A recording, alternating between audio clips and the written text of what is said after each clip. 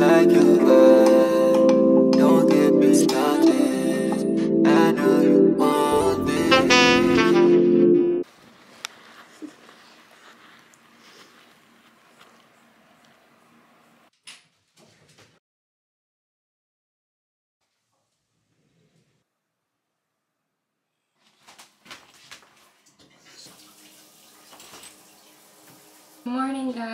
It is currently 11.06 on September 4th. It's a Sunday. We have a really exciting day today. I want to talk to you guys in a bit because I just had a few thoughts. I want to share what happened this morning. But um, basically today we're going to be doing a little solo date. Yesterday I dyed my hair. I went back to my natural color which is brown. So yeah, this is how I look now. I'm getting used to it, like waking up this morning and seeing that my hair was dark. Sorry, there's a mirror on the back of my phone case, so anyways, I'm actually really happy with it and I feel like it just feels like me and it's nice to have a new change. Got that done yesterday and then today I'm actually gonna go take myself on a little date. I'm gonna go to the Royal Ontario Museum. Is that what it stands for? It's the ROM. I don't know what it stands for, but it's basically a museum that's pretty big in Toronto. So we're gonna be going downtown and then I'm gonna meet my cousin for dinner at this really cute little patio restaurant. We booked for inside because it might rain, but if it doesn't rain, I'm gonna see if they can put us outside. Now let me get into what happened this morning because trauma, literal trauma. So I woke up feeling wonderful. I woke up late, I slept in today, which sometimes I do on the weekends, but I realized that I need to maybe not do that because I woke up feeling a little bit anxious. And usually I wake up, I get out of bed, and then I either read or I journal, like straight thing in the morning for a good 30 minutes, no phone and no just like outside world. And it's really, really good for me. But for some reason, I guess on weekends, my brain just is like, no, you don't have to do that. But then I end up feeling like off because I didn't do it. So I need to make sure I'm doing that on the weekends. But anyways, I woke up and then I went to the bathroom to go like get my toothbrush and take it into the shower. And I have one of the electric toothbrushes. So it has like the head that you put on top of it. And then I had like a cover on top. But the cover is one of those ones that like is open. You just kind of slide it off. It isn't an actual like shut completely thing. I go pull off the fucking cover for my toothbrush. A big ass spider falls into my sink. A big ass spider was sleeping with my toothbrush. No. No, no, no, no. I obviously took off the toothbrush head and I threw it out. I need to order some more on Amazon and I threw out the cover as well. I had just like a regular dollar store toothbrush in my um, little storage area, so I just took out that. That's what I'm using for right now. But like, what the fuck? Why did that have to happen? I have these snacks here from what I was eating last night. I want to show you guys them because they're lately my favorite snacks. I've been really trying hard to not eat as much processed sugar and also not as much like oily foods. I still eat it, but like I just try not to eat it as much because before it was like that was what I would eat sometimes throughout the day and then definitely at night I would like go crazy and eat all of that. So I just like something sweet at night. I feel like I always have. It's been like an ongoing joke with my mom's side of the family that I always have a midnight snack. Like it's just 2 a.m. I don't think it's gonna change. So I just need to make my snacks a little healthier. So I've been obsessed with these mango, dried mango. It's so yummy. And then also, these are so yummy. They are the milk chocolate pretzels with a peanut butter filling. They look like this. They're so yummy. But yeah, I think right now it's 11.10. I want to go to the museum for around 2 and I think there might be a good amount of traffic because the freaking CNE, like the exhibition center, is having their event. So the traffic downtown has been insane. So I know coming back might be bad and I want to make sure I have enough time going there. Oh, it's 11.11.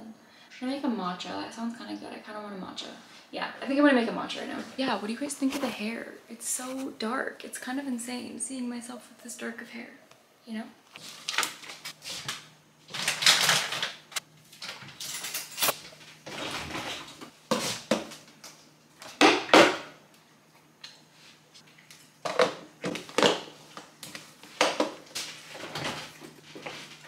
This morning I was listening to Alexander Lior's affirmations and they were on self-worth and um, self-esteem. There are these ones if you guys are curious. That's what the title of the video is. And I basically just kind of got lost in the thought of thinking about the mental blocks that we have that hold us back from having our manifestations. For example, I would love for YouTube to be like one of my main sources of income and I would love to have like a large community on here and to be able to do this as like a job, not just a passion. And I was trying to figure out what it is that makes me feel like YouTube's not a valid job. And obviously it's like the programming. We've been taught that we have to be in a factory or in an office space or a doctor or a lawyer, all of these other jobs, right? Jobs that encourage freedom, like even for example, being an entrepreneur, just in general, usually aren't that pushed by society. Now they're coming becoming popular, but people have really used fear as a way to like hold us back from doing that because it promotes freedom and that's not really what we're, you know, you get what I'm saying. Anyways, so I was thinking about it and I realized that I do believe that I can have a large community following me. I think the mental block that I have is feeling like making a large amount of money off of doing something that I love. For some reason, my brain, and I'm gonna try and work to unlearn this, can't accept that a job can be something that makes me happy and that fulfills me, which is so sad.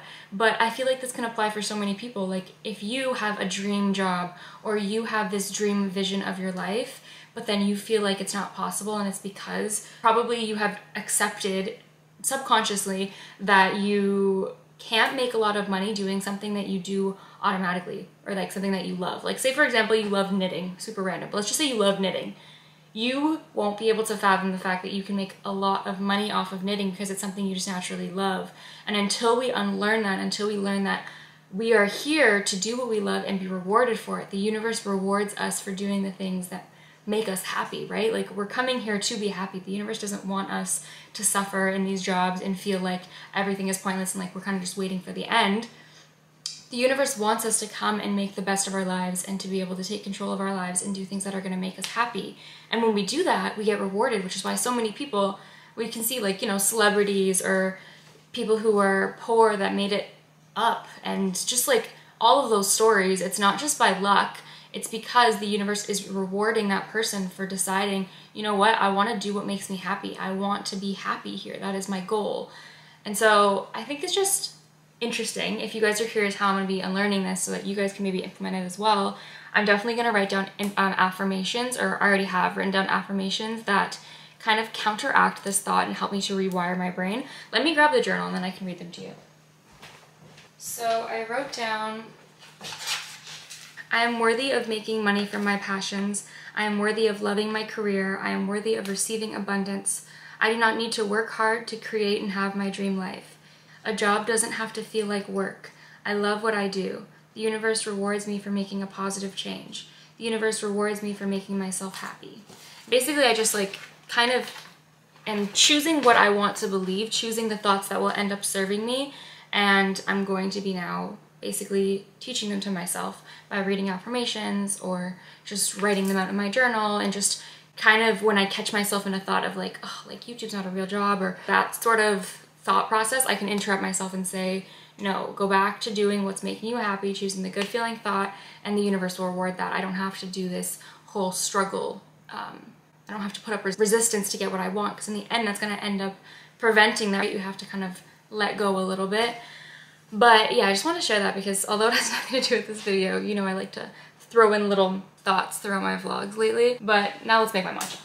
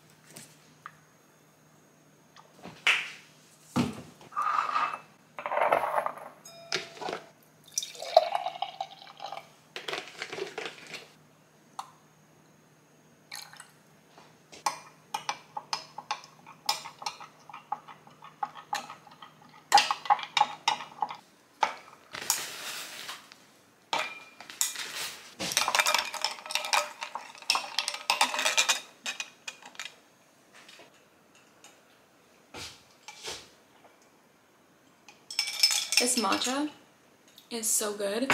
I showed it to you guys. I got it at the uh, coffee shop that I go to in my area. but I'm sure you can get it online or something. It's so good. It is the best matcha I've ever tried. I'm gonna take my iron. I have decided that I'm gonna try to get off birth control. Um, actually, with my next pack, I'm gonna just not start taking it. And maintaining my iron, maintaining my health, that's part of the reason I'm not eating processed food, or not eating as much processed foods and sugars and all that stuff because I just really want to make sure my body's at its healthiest that it can be. That way when I do get off the birth control, as I've mentioned before on this channel, I have PMDD, which is basically like a PMS disorder. Um, I just want to make sure that I'm setting myself up for success and that I'm not getting off and then being like, oh my god, I feel like shit throughout this week. I want to feel better off of birth control, you know? Um, I originally got on birth control when I was like in high school because I had killer cramps. Like my cramps were so bad. They were horrible. Like I would literally cry. But anyways, I've decided I want to get off of it because I've just been on it for so long and my body deserves the best treatment and I know it's just really not good for you. It's not good for your kidneys. It's not good for just anything really. It's like really bad for you actually.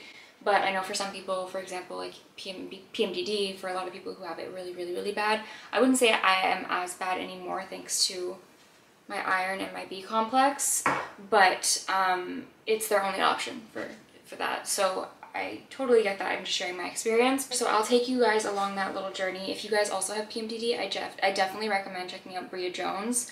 She made a video talking about getting off birth control with PMDD and it was really really helpful. She had a lot of knowledge. She read a bunch of books on it and basically I'm just trying to like treat my body better and I'm trying to get back on taking my iron and my B complex more consistently because the past like week or two I've kind of fallen off of it. I'm gonna eat this right now for lunch. Um, it's two days past the best before date so I just want to finish it and it's also kind of later in the afternoon right now. So I was gonna do a breakfast, but I think I just need to finish this off. I also need to put away all those dirty dishes, put away those clean dishes, and I really wanna go through my fridge and just reorganize and kind of also declutter. This is literally rat garbage. like what? Why does it taste like this? It's not, ew. I don't know if it's the dressing or just like what's in it. Like it's not really like salad I don't know. Or maybe it's the fact that it's two days old. I literally can't eat this. Like, I need something else. This is not, this isn't happening. You should see me eating. I'm like this.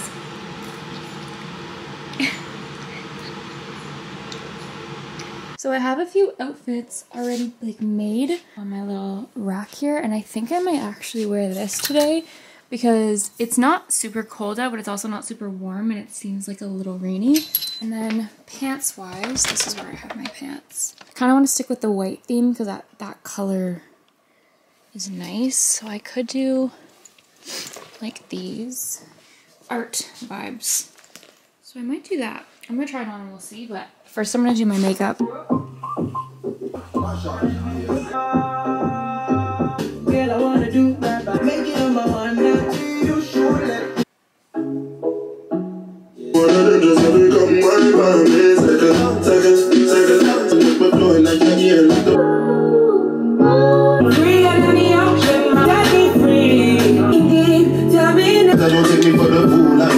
Makeup is done. I feel like my nose contour looks messy in that lighting. Maybe even in this lighting too. Actually, no, this lighting looks fine. I think I got my nose as snatched as I ever have. So yay for that. But I'm going to get changed now. So I'll get changed and then we'll see how it looks. So this is the outfit. I like it. I just don't think I like these pants with the outfit because you can see like the bodysuit on my ass and I really hate that look. Or actually, I have green jeans that would go really well with this. One second. Okay, I think we have a winner. I feel really cute in this outfit. So I have on these green Princess Polly jeans. This bodysuit, I can't remember it's from. I got this from Shein. This purse that's from Shein. And yeah, I feel really cute. I think it's really cute. These jeans are like the crossover ones. Super cute.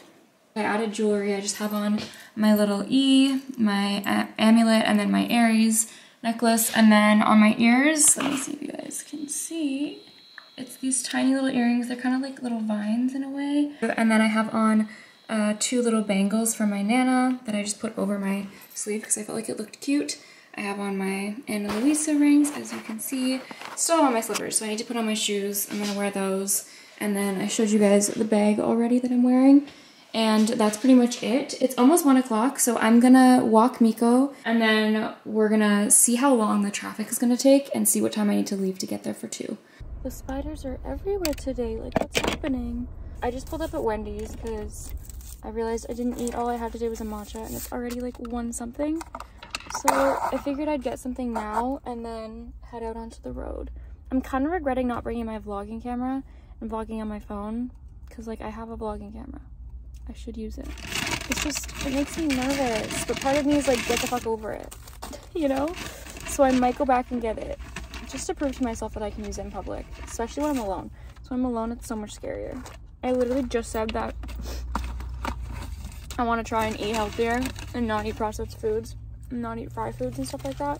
And here I am getting Wendy's. But it's fine. I mean, I tried to eat a salad. You guys saw what happened. It wasn't good. I got a spicy Asiago sandwich, if you're curious. Yummy, and a fries and a Coke.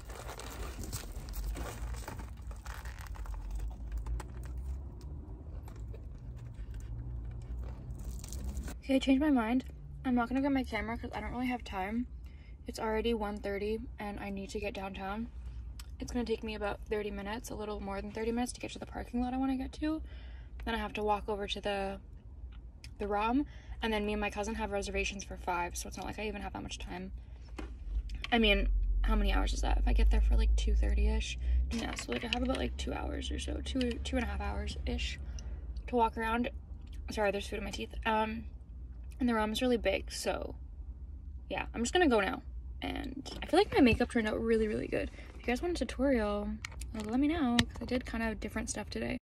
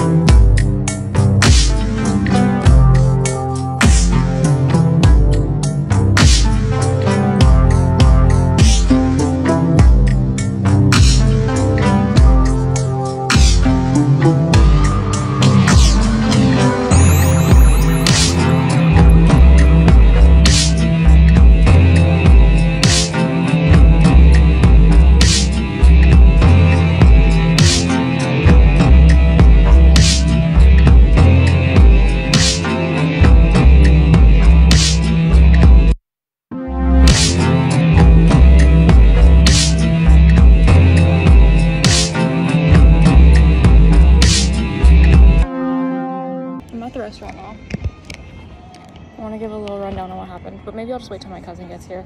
I basically got creeped out at the museum for the last little second there, but I'll tell you guys in a bit. It wasn't anything that dramatic, but like just Ben being annoying, you know?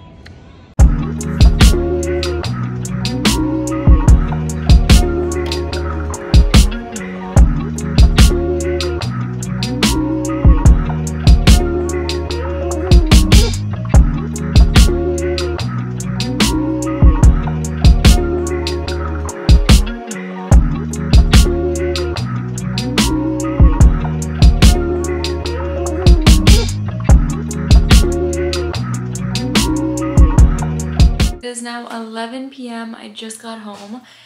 Tonight was so much fun. Today was so much fun. I had so much fun at the museum. I really got to just like learn so much and see many pretty things and cool things. Miko's excited because I just got home. But um, yeah, it was really cool. I got to see a lot. It was a really fun experience and I'm really glad that I did that, especially by myself. Like even when I was there, I was thinking to myself, like if I was with someone, I would have to be with someone who kind of is cool to like venture on their own because like, I don't know, you know, different things interest different people. Like there's a lot of things I was passing by that someone else would find super interesting and like vice versa. But anyways, yeah, I just wanted to come on here and say that I had a lot of fun. And then I had dinner with my cousin, which was really nice. We ended up just getting like tea and stuff afterwards because we just weren't done talking and we didn't want to walk around anymore. So we just caught up. It's so interesting because I don't see that cousin very often. Her name's Kiara, if you're curious. We grew up together when we were really little. We were together 24 seven. And then kind of throughout high school and stuff, we were talking about today, like we weren't that close and we didn't really catch up very often. We were very just like different people. And then within the past like three years, I would say, we've gotten really, really close, but we still only see each other like once a year. And it's so funny. Like she knows my deepest thoughts and I know her deepest thoughts, but yeah, we only see each other like once a year. So it's just funny that like, I don't know, time really is not of importance when it comes to like deep connections, if that makes sense. But yeah, I have a few people in my life like that where like I don't have to see them 24 seven and it can be like nothing's changed. Sam's like that too, my friend Sam. I see her more often now because she's not in school and she works at a place kind of near me and we have kind of our Wednesday dates. So like I see her more frequently, but we did go through a few years, especially like throughout college and stuff, where I would only see her every few months. And so yeah, it's nice to have people like that where you know that like the friendship isn't because of convenience, it's because of like actual value.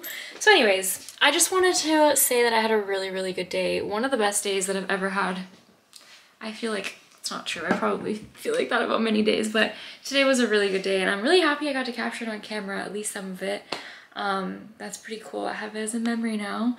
And if you enjoyed this video, please subscribe to my channel. I'd love to have you. And I was gonna end the vlog here, but I figured I might as well take you guys along for kind of how I wind down for the night. I actually just got this new light bulb. Let me show you guys the box so you can see. But basically I got a new light bulb and I put it in this lamp instead of having my sunlight lamp here because it just didn't take up enough space, wasn't bright enough. So I put the sunlight lamp in here and then this is the bulb that I just replaced in that. It's from Amazon. Um, it wasn't too expensive.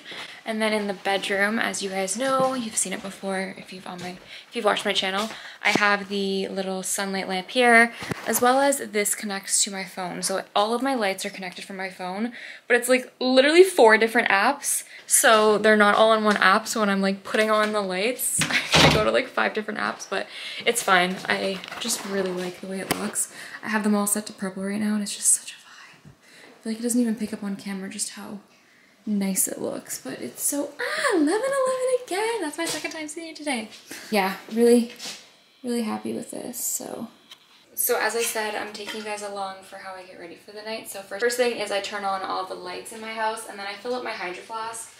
This water bottle is literally so good. It keeps the water so cold or whatever temperature you put it in, it's just gonna keep it at that level. And it's great because I hate warm water. So in the morning I can still drink the same water, which is nice. Also, yes, my pants are undone. I just peed and I'm about to change into my pajamas, so keep your thoughts to yourself, please. Miko gets on the bed and he waits for me to go to bed with him. I'm gonna throw all these pillows into this little corner. Miko digs in the bed because he likes to dig. Watch.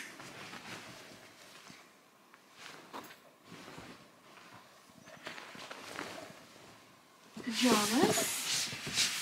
I think I'm gonna wear this new t-shirt that I got. I need some really comfortable underwear because that's crucial to a good night's sleep, let's be real. Now I need to get changed and then we'll wash off this makeup. I think I also need to do a little bit of a stretch because I feel like my leg is kind of hurting from walking so much today. That happens to me sometimes. Hey babe.